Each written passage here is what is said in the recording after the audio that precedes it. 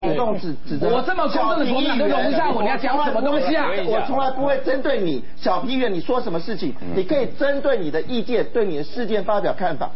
你讲的不用加一句话对公道嘛？你讲的嘛，对不对？我请问一下小皮员，从以前到现在，我有主动攻击你说任何一句话吗？我没有攻击你。我觉得我们我们讲事情。好，好了。因为我觉得现在有一个重点就是说，呃。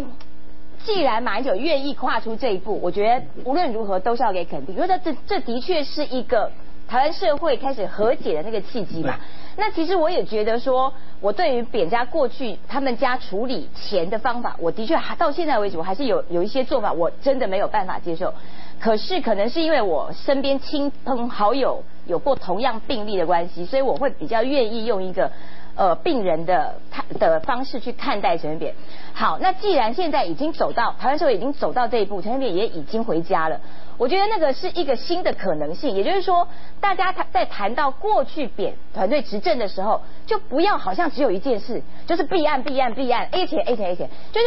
是是不是也可以给一些公平的评价？就是他的确，民党执政的时候，的确在施政的成绩上面有一些还不错的。因为现在这六年，我们发现，哎，不对啊，好像贫富差距也越来越大啦。蛮有的执政的确没有那么好。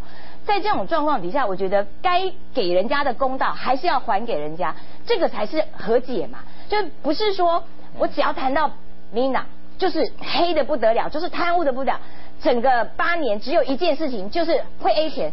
其实事情不是这样，就好像马英九的执政很差，没错。这六年来，除了很差，还是很差，还是很差。可是他今天愿意跨出政治和解的第一步，我觉得这一点绿营的朋友也应该要给予同样的肯定。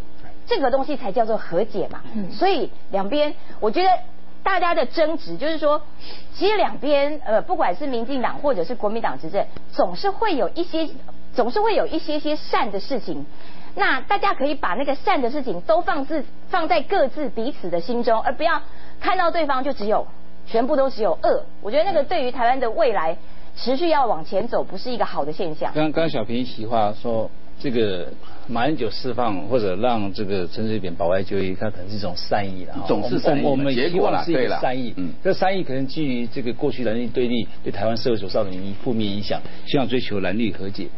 但是我们也担心他会不会是一种政治算计，嗯，因为他可能是挽救他个人的濒临这个掉到悬崖中的这个这个这个危险，哦，挽救他个人仅存的声望，不然怎么会有很多蓝委说，哎，陈水扁出来就是蓝绿对立开始，陈水扁出来啊，这个绿营穿的蛋，陈水扁出来有很多事情就会发生，陈水扁出来就会去吹奏一直一池风一池春水，陈水扁就是未来的政治核弹。我们很期待，我跟石奇，我跟博龙鸭都希望这是一个新的起点，嗯，是推动蓝绿和解的一个新的起点。过去有很多这个蓝营的立法院的同事啊，我跟他见面是完全不打招呼的，他法案来我就丢到旁边去，嗯，因为我我觉得台湾刚刚欧崇信说的没有错，台湾人共同面对的这个魔咒，我们必须大家放下这个这个心结，共同来赦免这个魔咒，但赦免魔咒。这魔咒是谁授予的？这魔咒是谁加台湾人身上？就执政者他没有办法去除这个心魔嘛？嗯，执政者如果可以心魔可以去除，他就不会有类似那种算计的说法，说陈水扁出来就是蓝绿对立的新的开始，陈水扁是政治核弹。所以，所以我觉得啦，执政者应该更谦卑，跟人民对话。执政者。应该有更大的这个雅量去容容许各种不同的声音，而不是党同伐异。嗯，所以，所以我我我非我非常珍惜这个时刻，所以我也跟这个过去没有讲话的这个呃这个蓝营的立委，我也开始讲话了。他的法案我也连署，讲三个字，两三个字 啊，谢谢你，你好吗？啊，最起码我会跟他问好。他有有一些法案，我我也希望共同来推动。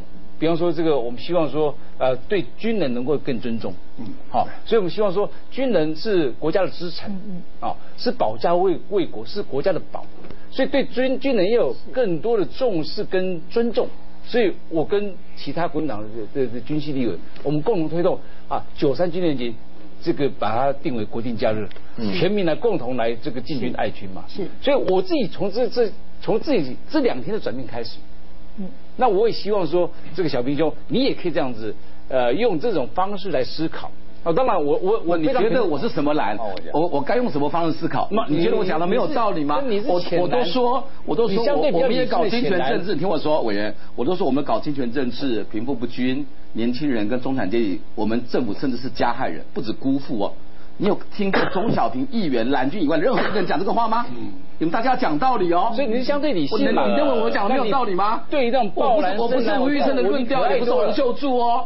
其实，在和解的过程当中，激烈的沟通有时候是必须的。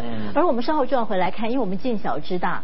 其实有一些政治评论家也已经非常担心了，大家想要促成朝野和解、蓝绿和解的过程当中，有没有可能就卡在一些好像讲不清楚的，比方说陈世仁到底有没有罪的这个问题上面，反而造成了一另外一个漩涡。我们稍后回来要听段宏大师的意见。好。